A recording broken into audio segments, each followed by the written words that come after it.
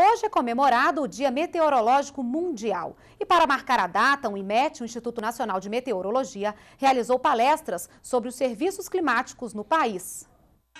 A ideia do evento é divulgar o papel decisivo que as informações meteorológicas e hidrológicas desempenham na promoção de um futuro sustentável, além de mostrar como o tempo, o clima e a água são motores do futuro e aspectos determinantes de todas as atividades econômicas e sociais, inclusive na agricultura. As previsões hoje chegam a níveis de confiabilidade, disse, para 24 horas chega a 98%.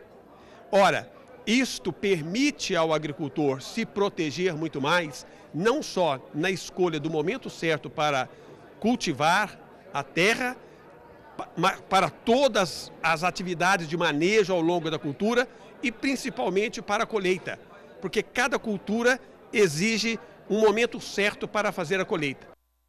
Como parte das comemorações do Dia Meteorológico Mundial, foi inaugurada também uma mostra fotográfica sobre a fauna e a flora no campus do IMET, em Brasília.